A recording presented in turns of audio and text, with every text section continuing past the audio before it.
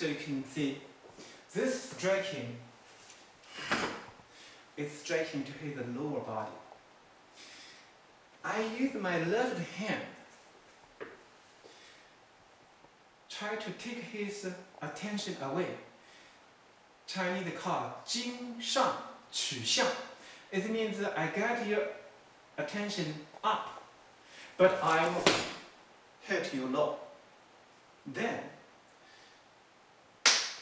Jiankao, which is I step forward, use this shoulder, striking toward him.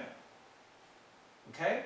So it's following hit to his lower body, up close to him, striking to his chest by this left shoulder.